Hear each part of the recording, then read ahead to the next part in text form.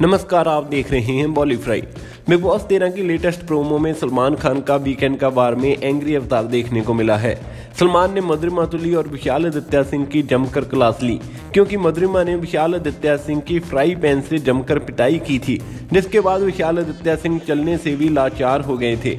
लेकिन Bigg Boss के latest promo में दिखाया गया है कि सलमान खान विशाल और मधुरिमा पर जमकर बरस रहे हैं और उनकी इन हरकतों के लिए उन्हें सबक भी सिखा रहे हैं।